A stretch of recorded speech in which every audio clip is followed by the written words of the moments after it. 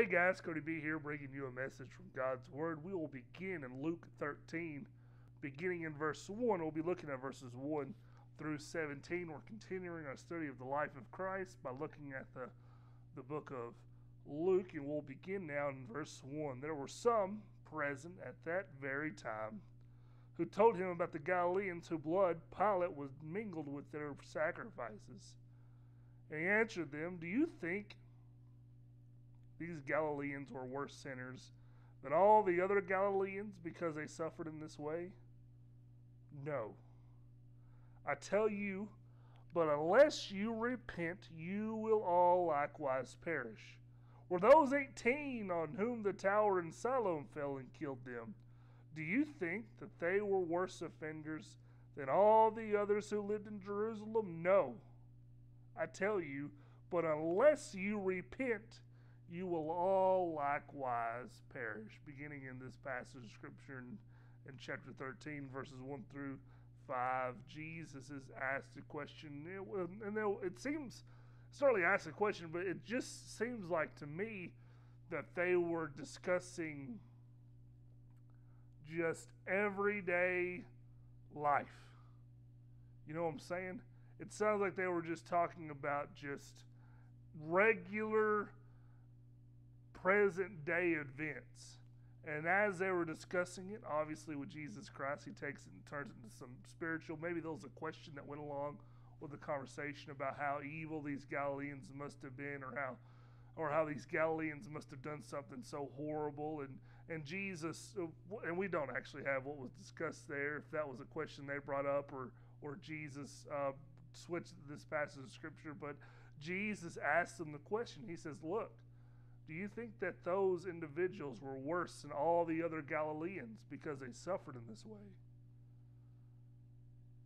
And, and maybe I need to explain what it means to have your blood mingled with sacrifices. That essentially what was taking place was these individuals were sacrificing, and blood, and, and excuse me, and Pilate had them killed while they were sacrificing, and their their blood got mingled with the sacrificial blood that was upon the altar, and it was a horrible tragedy that took place.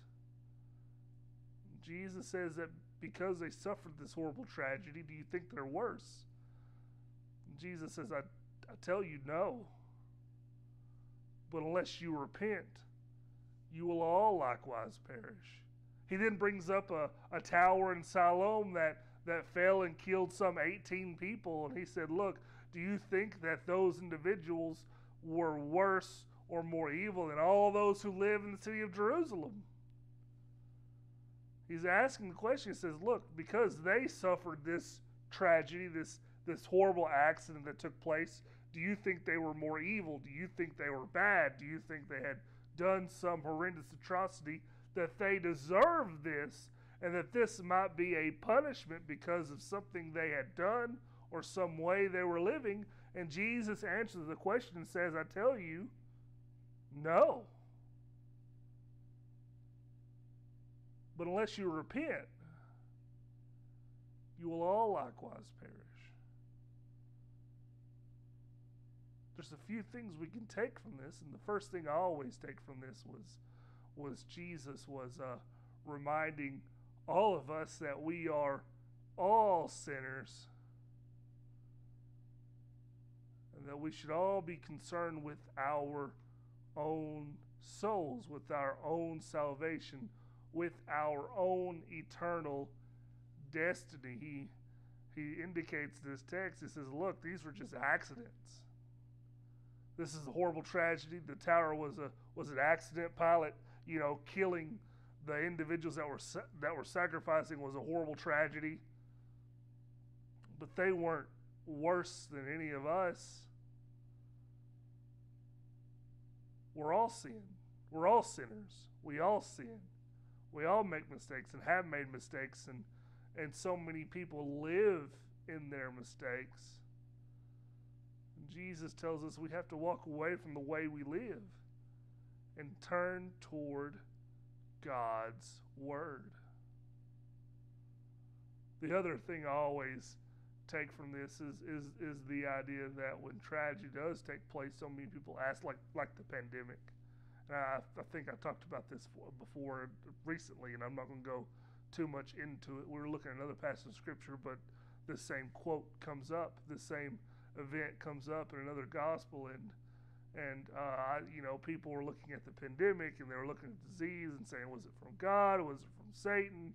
Some preachers and some people were saying, you know, he's he's trying to he's punishing us for for what we've done. He's we've done something horrible, and I, you know, keep the same point I made back then. Nobody actually knows, you know. It's just a horrible tragedy, and I feel like so many people were trying to make something out of it, and we have no idea if it was from God, or if it was from Satan, or if He was punishing us, or if He was rerouting us back toward Him, or if it's just a horrible tragedy that had no other meaning. And we're not meant to know all these secrets and all these things. But Jesus tells us what we must be most concerned with that if we don't repent, we will all likewise perish. If we don't change, we will all suffer. He's saying, look, don't worry about how all these other people are, well, not how they're suffering, but don't worry about how their endings are going to take place. Make sure your own life is right first.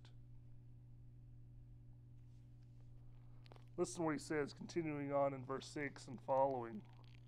He told this parable A man had a fig tree planted in his vineyard, and he came seeking fruit of it and found none, and said to the vine dresser, Look, for these three years now I have come seeking fruit on this fig tree, and I find none. Cut it down. Why should it use up the ground? And he, the vine dresser, answered him, said, Sir, let it alone this year also, until I dig around it and put on manure. Some versions probably say fertilizer. Verse 9. Then if it should bear fruit next year, well and good, but if not, you can cut it down. He tells the parable of something that we see every single day. I mean, how many of us have planted tomato plants before and nothing came. Nothing, the plant grew and it was green, but no no tomatoes came forth. Well, in this passage of scripture, he's talking about a fig tree. And the landowner came to get fruit from this fig tree. He wanted his figs, and he approached the fig tree, and there was no figs on it. And the landowner said to the vine dresser, to the gardener, he said, Look, for three years this thing has done nothing. It's produced nothing. It's given us nothing. Let's cut it down Let's get rid of it. Let's throw it into the fire. And the vine dresser, the gardener says, No. Give me one more year. Let me let me dig up around it. Let me fertilize it. Let me put manure in it. Let me do some give it some care. And then if it doesn't produce, we will get rid of it. The main point I always get from this parable and I always attach it to what he says in verses 1 through 5 with the unless you repent you will all likewise perish as he's telling us he says look unless we change we will be plucked up and we will be thrown into the fire we will be cut down it's time for us to look at our life I'm just going to say, use the word he uses here in the text, okay? And put fertilizer on it. Give it care. Give it love. Apply God's word to our life so that we will produce fruit. Fruit that is good, fruit that is righteous, fruit that is pleasing to God. It's time to take care of ourselves, take care of our souls, and live the way He would have us live. It's time to repent. or we will all likewise perish. We'll end up like the fig tree. We will be cut down and we will be cast out. So, what will you do? Will we continue to live the life we have lived of sin and suffering and tragedy? Or will we take God's word and implant it into the ground, the hardness of our hearts, so that we can produce fruit and so that we can change and live for Him. Continuing on now, we're going to look at verses 10 through 17. Now he was teaching in one of the synagogues on the Sabbath. Behold, there was a woman who had a disabling spirit for 18 years. She bent over double and could not straighten herself. When Jesus saw her, he called her over and said to her, Woman, you are freed from your disability. And he laid his hands on her, and immediately she was made straight, and she glorified God. In this passage of Scripture, Jesus performs a miracle. He's in the synagogue, he's teaching these parables, he's teaching these ideas, and he looks up and he sees a woman. The Bible says that she was bent over double, and she had been that way for 18 years. The Bible also tells us that this was because of a spirit that had come upon her, and we'll we'll see later an evil spirit, a demonic spirit, as as it were. And he's sitting in the synagogue teaching and preaching, and he sees her and he calls her over and, and he gives her and, and says that she is freed from her disability and she stands upright. She glorifies God. She praises Him. It's a beautiful moment. It's a show, it's, it's a sign of Jesus' care and His love and his uh, compassion that he has for other people. You know, this passage of scripture, you know, there are many people who come to Jesus to be healed. Hey, you can heal me. You're Jesus the, of Nazareth. You can heal me, Lord. Please heal me. And that doesn't seem to be the case here. It doesn't seem like she comes to him. But it seems like he calls her to him because of his love and compassion and care.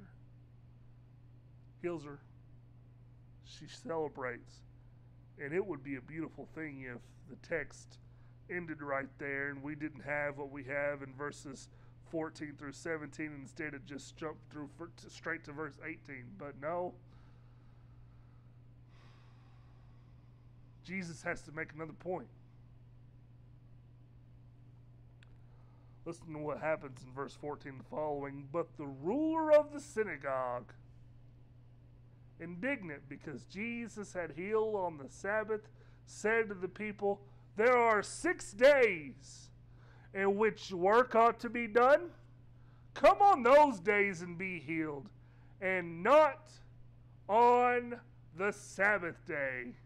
He looks at his congregation, he looks at the people in the synagogue, and says there are six days, six days in which you should be healed, and you should come those days, and Jesus can heal you on those days.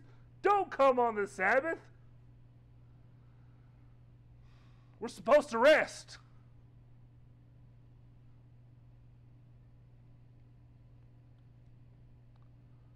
And the Lord answered. That's Jesus. You hypocrites. Does not each of you on the Sabbath untie his ox and his donkey from the manger and lead it away to water it?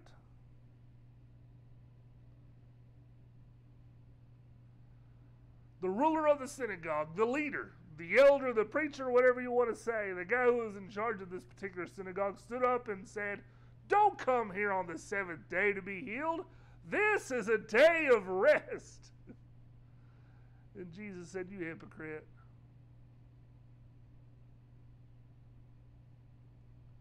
You hypocrite. You water your own animals on this day.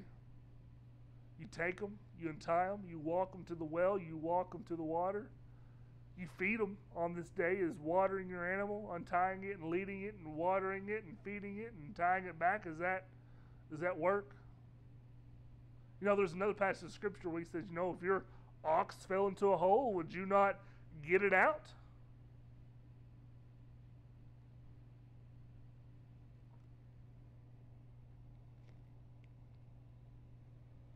Verse 16, and ought not this woman, a daughter of Abraham, whom Satan bound for 18 years, be loosed from this bond on the Sabbath day. He says, Look, you take care of your animals on the Sabbath day. You take care of your ox. You take care of your donkey, you give it food, you give it water, you lead it, you tie it back up, you untie it, you tie it back up. How much more important is it for us to take care of this daughter of Abraham? How much more important is it us for t- to take care of this soul whom, whom Satan has tormented? It goes back to what we said a few weeks ago about them ignoring the weightier provisions of the law.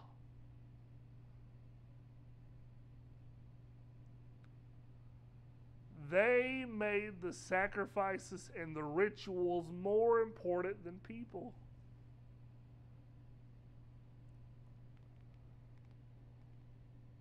They missed out.